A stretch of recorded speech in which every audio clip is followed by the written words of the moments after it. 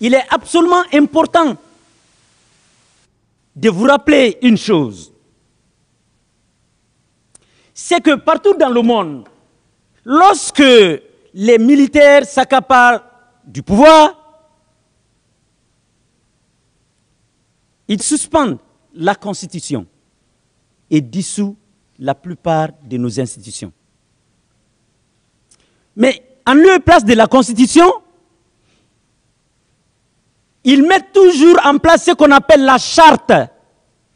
Ils mettent toujours en place ce qu'on appelle un texte fondamental qui est chargé d'encadrer les pouvoirs publics, qui est chargé de définir les droits et les pouvoirs de chacun. Mais, Monsieur le Président, capitaine Dadis, quel a été le texte que vous avez mis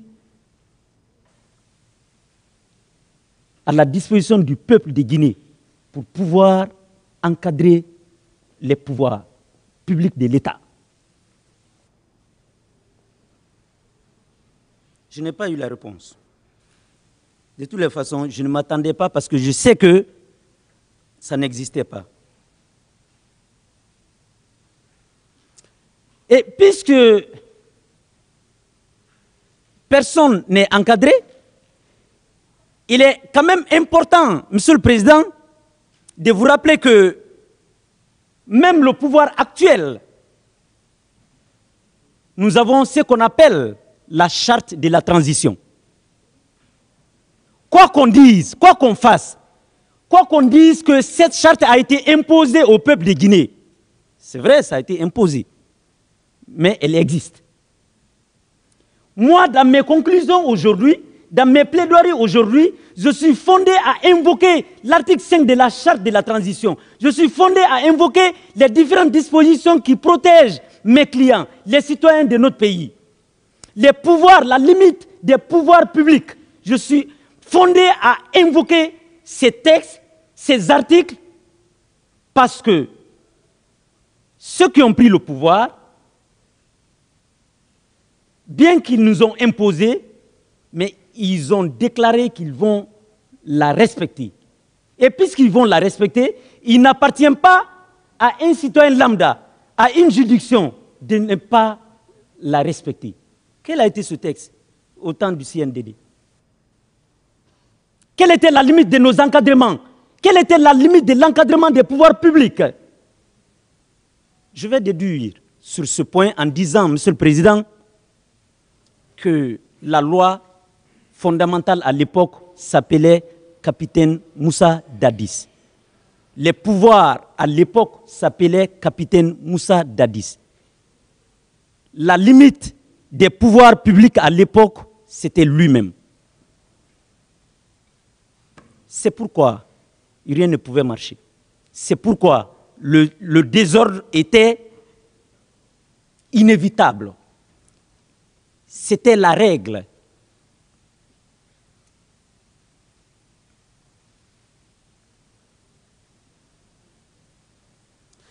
Monsieur le Président, pour revenir toujours sur les événements proprement dits, le lendemain du petit matin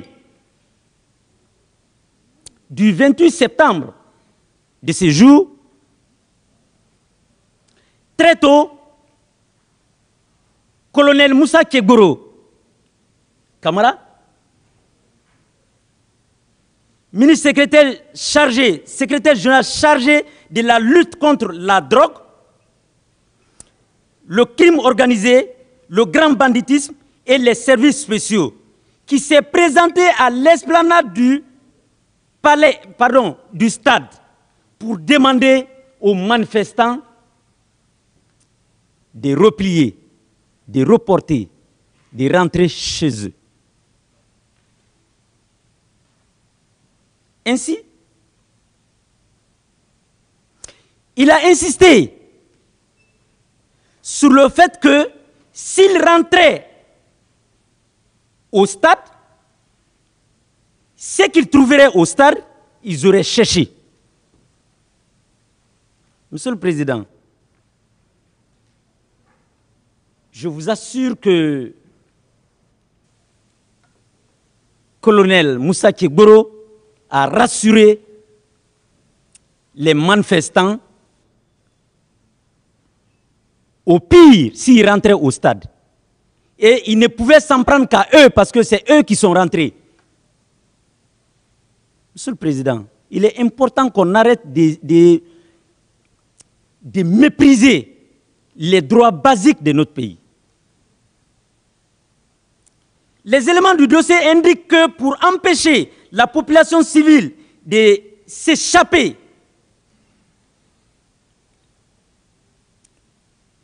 au drame à l'intérieur du stade,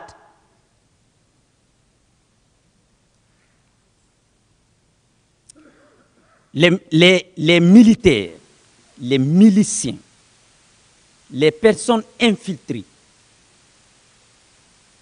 ont bouclé toutes les issues. Et ils sont allés plus loin jusqu'à ce que qui tirent sur les câbles électriques pour les faire descendre sur les murs pour faire électrocuter, Monsieur le Président, froidement, nos paisibles concitoyens. Monsieur le Président, plusieurs personnes ont été arrêtées. Plusieurs personnes ont été transportées dans les camps.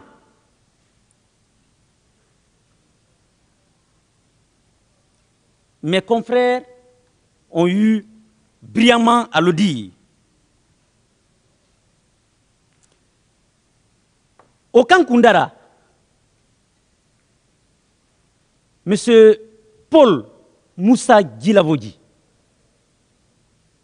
malheureusement, qui me faisait assez pitié, j'ai compris dans des différentes déclarations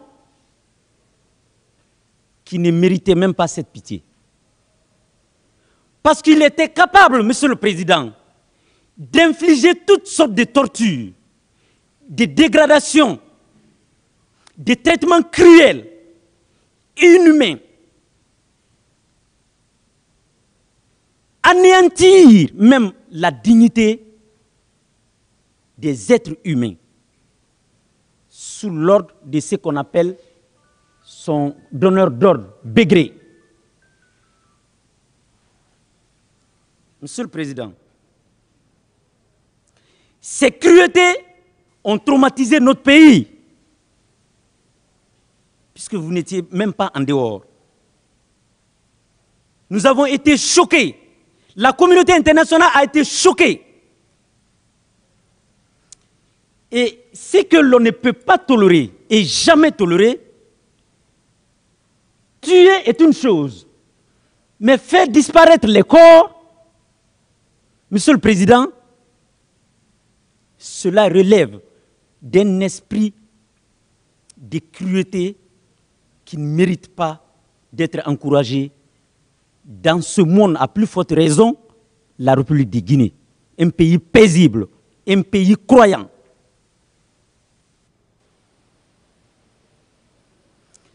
Ces crimes graves qui ont été perpétrés au stade du 28 septembre et autres endroits à travers la ville de Conakry,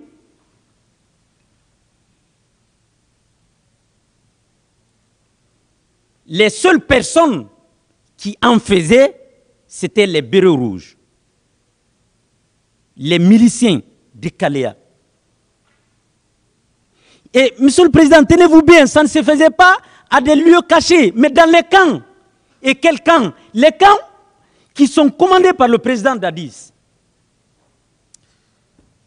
Monsieur le Président, je dirais tout simplement que ça se faisait sous la coordination du coordinateur général, capitaine Moussa Dadis.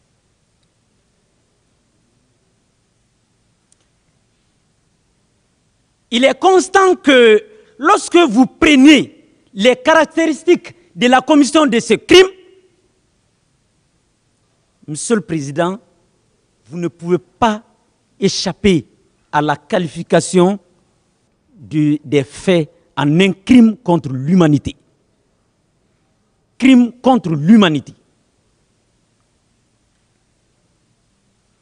Monsieur le Président, c'est ce à quoi mon aimable capitaine a soumis nos concitoyens ces jours. Mais c'est fait, quoi qu'il soit atroce, quoi qu'il soit cruel, il faut absolument l'imputer à quelqu'un. Il faut l'imputer à quelqu'un. En droit, pénal, vous le savez, la commission d'une infraction est une chose, mais son imputabilité en est une autre. Dans cette affaire, l'imputabilité de ces crimes est sans doute possible à chacun des accusés. Sur ce, les personnes contre lesquelles je détiens les éléments matériels consistants, imparables, je vais les citer. Au premier rang de ces personnes, Monsieur le Président, vous avez mon célèbre capitaine Moussa Dadis Kamara.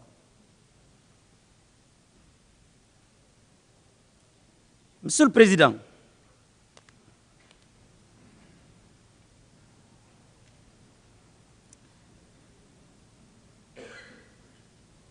je suis désolé de le dire, mais capitaine Moussa Dadis Kamara, l'ex-président du CNDD,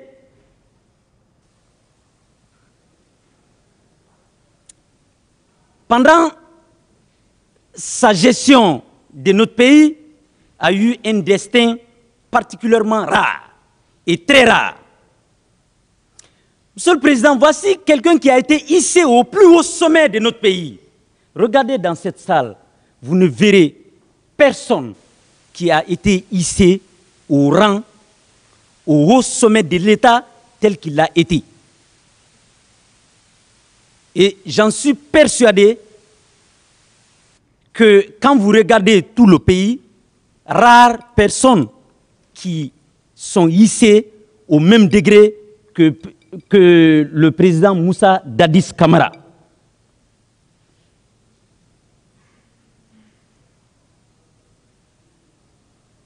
Son arrivée au pouvoir, quoi qu'il soit illégal, parce qu'il faut le reconnaître, il est illégalement venu au pouvoir, mais quoi qu'il soit illégal, Monsieur le Président, il est important que ça a suscité assez d'engouement.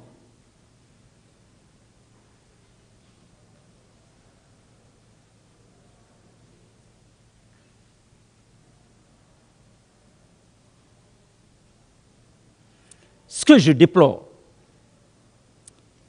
ce pourquoi je ne peux pas le tolérer, Monsieur le Président, c'est de ne pas dire dès au départ ce qu'il souhaitait faire. Monsieur le Président, des déclarations concordantes et non démenties devant votre bar ici, le chef de la junte s'est bien déplacé. Il s'est bien déplacé. Pour aller où? Au lieu de la conception des crimes qui ont été commis au stade du 28 septembre. Autrement dit, Monsieur le Président, les infractions qui sont poursuivies dans cette affaire ne sont pas des infractions ordinaires. Ce ne sont pas des infractions qui, qui pouvaient se réaliser dans la spontanéité. Il faut le moindre ou la moindre conception. Il faut la conception. Il faut la planification. Il faut le financement. Il faut les exécutants. Et il faut passer à l'acte. Monsieur le concepteur de ces crimes, c'est bien Monsieur Moussa Dadis Kamara, Monsieur le Président. Monsieur le Président, je vais vous donner quelques éléments qui concourent à la parfaite conception de ces crimes par le président Moussa Dadis Kamara. Le premier élément de cela est, je disais à la barre ici, commandant Toumba a déclaré publiquement que le président Dadis s'est déplacé pour aller chez son intendant à Dubreka. Ces déclarations n'ont jamais été démenties à la barre.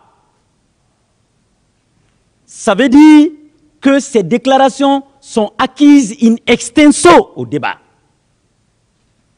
Qu'est-ce qu'il est allé faire à Dubreka Il est allé chez son intendant. Il laisse son garde. Il disparaît. Le petit matin, on le retrouve avec des personnes habillées en courri, avec des flèches. Pas des dizaines, pas des vingtaines, des centaines de personnes, Monsieur le Président. Est-ce qu'on défend la République de Guinée avec les flèches? Est-ce qu'on défend la République de Guinée avec des machettes? Alors, il a été acquis au débat que le président Dadis s'est déplacé pour aller entretenir avec ces personnes inconnues du public, inconnues de ses proches. Monsieur le Président, pourquoi ces éléments? Pour quelle fin? Je peux vous assurer que même ces éléments, apparemment, ne pouvaient pas comprendre pourquoi ils étaient préparés. Ils savaient quand même que c'était pour commettre quelque chose d'extraordinaire. Ces personnes étaient logées, nourries, habillées, entretenues par capitaine Moussa Dadis. Cela ne fait aucun doute. Et durant tous les débats ici dans cette salle, Monsieur le Président, ça n'a pas été démenti. Premier élément de conception des crimes qui, se sont déroulés au stade du 28 septembre. Monsieur le Président, Gono Sangaré ne peut pas le nier. En tout cas, puisque la preuve était libre, j'allais être très curieux d'avoir ou de voir la preuve contraire de cette déclaration. Ces miliciens étaient sous sa responsabilité financière exclusive, Monsieur le Président, pour ses besoins précis.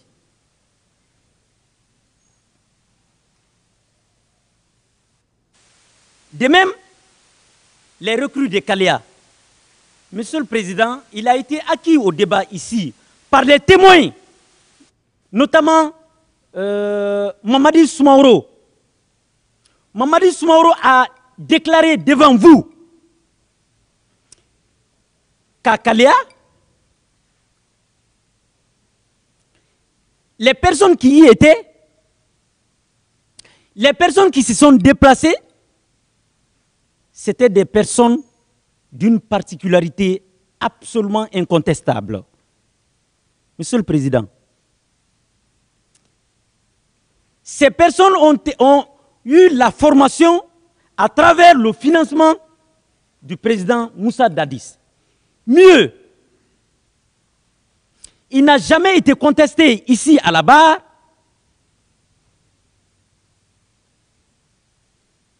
que mon éminent militaire ou gendarme, je ne sais quoi, Blaise Gomou, était bien et bien l'une des personnes qui fréquentait couramment couramment, chaque trois jours, à Kalia. Et à la des événements, Monsieur le Président, les bus de l'État ont servi au transport de ces personnes de Kalia à Conakry. L'on pouvait dire qu'on ne sait pas pourquoi ils sont venus, où est-ce qu'ils sont venus. Mais des témoignages et des déclarations concordants, Monsieur le Président, il s'est avéré que les personnes qui ont rallié Conakry pour des missions qu'elles ne connaissaient pas, qu'elles ne connaissaient pas plutôt, se sont retournées avec de l'argent, se sont retournées avec des motos, se sont retournées blessées. Et quand, le lendemain du 28 septembre, ces déclarations également n'ont pas été démenties ici devant vous.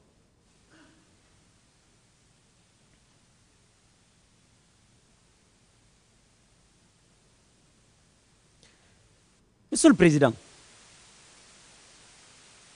ces éléments prouvent à suffisance que les crimes perpétrés contre nos concitoyens ces jours relevaient d'une conception préalable, d'une préparation, d'un financement et d'une planification. Monsieur le Président, il y a quelque chose qu'il faut relever dans cette affaire c'est l'esprit de cruauté, c'est l'esprit de violence. L'esprit de violence a été généralisé à l'époque.